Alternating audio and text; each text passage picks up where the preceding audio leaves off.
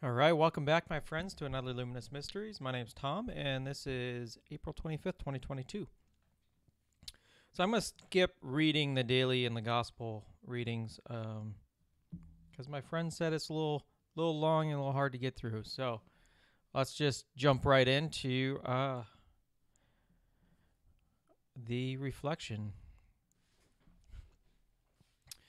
I want to state this first because I don't think it was maybe quite clear, but I want to be abundantly clear.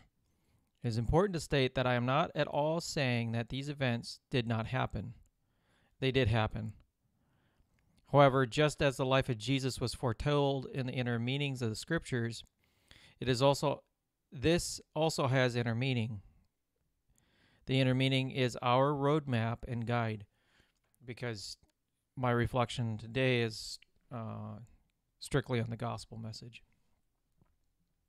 It would have been way too long if I added the the other uh, the other stuff. So let's jump in.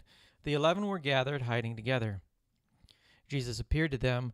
In this line, we can look at Jesus being God's love in action in his divine human form.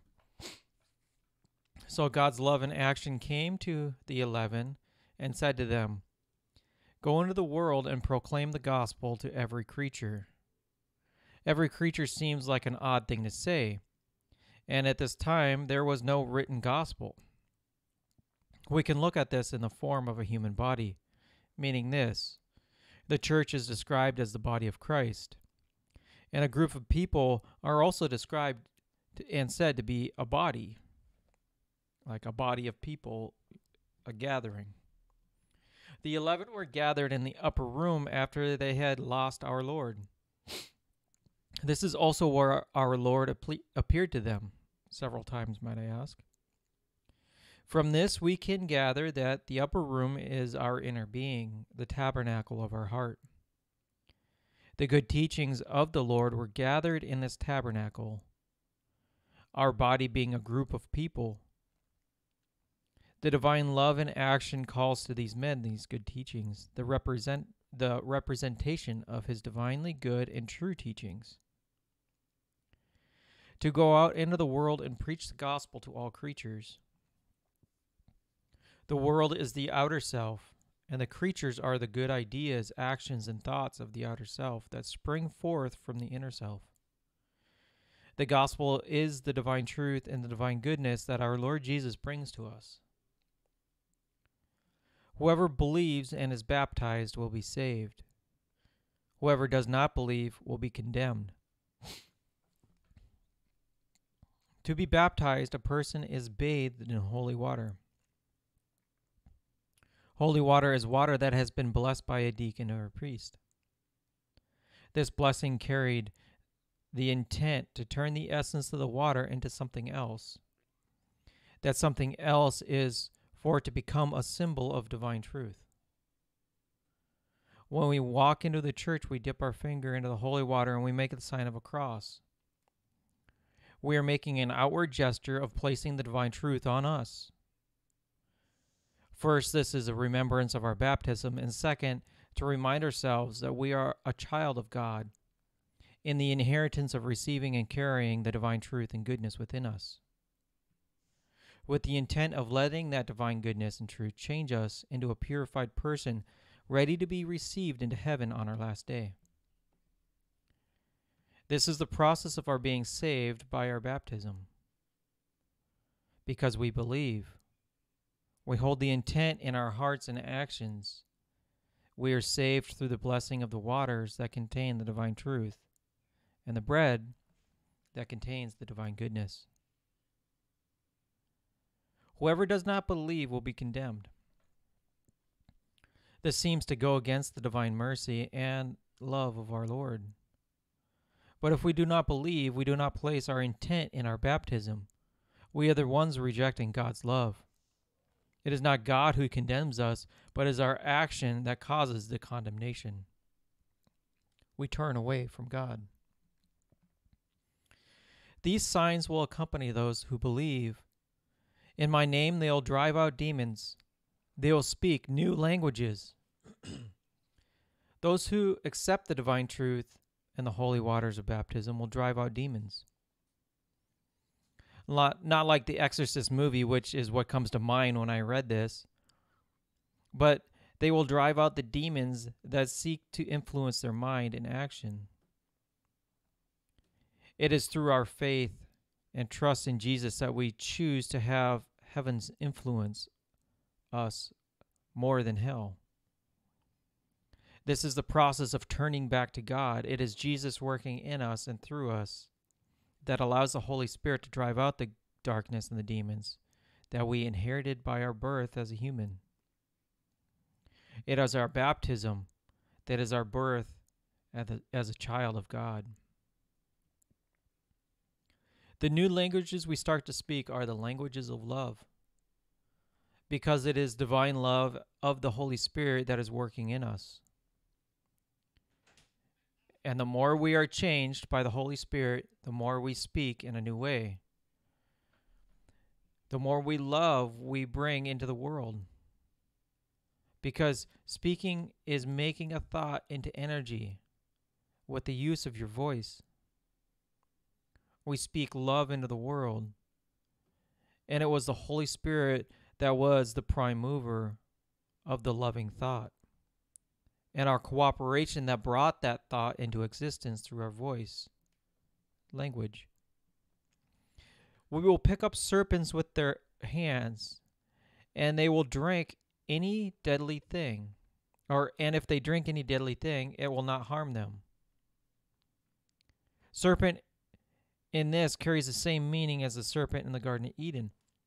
It is that evil or false thought that hell uses to sneak its way into our minds. We will pick up these evil and false thoughts with our hands. We will instantly see them for what they are and we will grab a hold of them as to not let them harm us or influence us in any manner. And, and if they drink any deadly thing, it will not harm them. If we fall prey to an evil or false thought, it will not harm us. Because of our Lord's mercy and love, we will not be harmed. We are giving the blessing of the sacrament of confession. So when we do not drink a deadly so if we do drink a deadly thing, we are given a grace and mercy to be healed by our Lord's love with our intent to never fall prey to it again. They will lay hands on the sick and they will recover. We will grasp the sick parts of our inner self through the love of Jesus. Those parts will be healed. This is our battles with our temptations, and when we battle them, we grasp them. We hold them in our hands. We hold them in our mind as we see all the parts of that temptation. We recover because we make the effort to battle. We make the effort to be purified. This is the small part that Jesus needs from us so he can win the battle for us. So he can save us from our inherited fallen human nature, which has disorder- disordered appetites towards falsity and evil. When the Lord Jesus, after he spoke to them, was taken up into heaven and took his seat at the right hand of God. Then they seen Jesus ascend to the right hand of God. The right hand person in a kingdom was the king's guide who put the action of all the king's commands, put into action all the king's commands, sorry. We know God is love. This is saying that Jesus, seated at God's right hand, is God's love in action. That action is the Holy Spirit of God, the Holy Spirit that comes from God the Father and the Son. All three aspects of one God, aspects being complete which is the meaning of being called a person of in God. God the Father is complete, God the Son is complete, and God the Holy Spirit is complete. Each complete and all one in one person. But they went forth and preached everywhere, while the Lord works with them, and confirmed the word through accompanying signs. The eleven went forth from their inner self to the outer self and changed every part of the outer self to reflect the beauty of the inner self that was changed by God's love. They did this while Jesus was with them.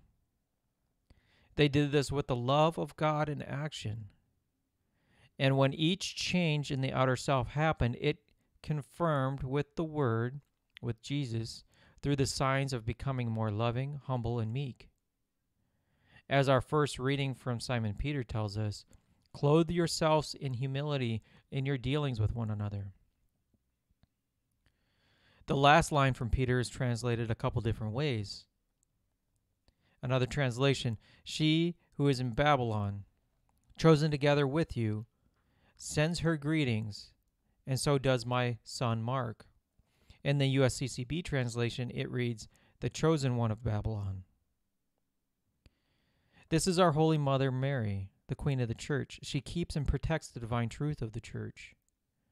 And when Peter says, As my son Mark, that means the divine truth watched over by Mary and the divine love as performed by Mark. Send you greetings. They come to you. This is all clarified by the next line. Greet one another with a loving kiss. We speak the divine goodness and truth from our hearts into existence through our mouth. It is with this mouth that the Lord's love enters the world. Our lips, which are the last part of ourselves to touch the love that comes from within to the outside.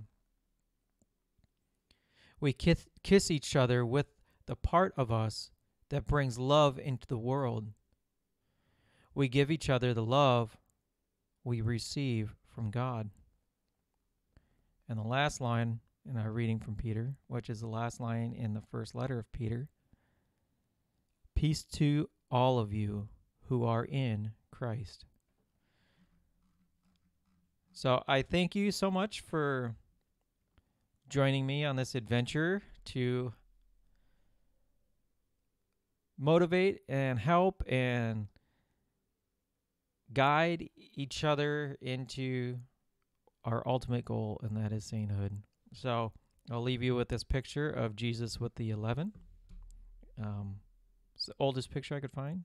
Then again, I didn't really search that long, but time constraints. So I look forward to doing another one of these guys for you guys uh, tomorrow. And I hope to see you there. I love you. Have a good night.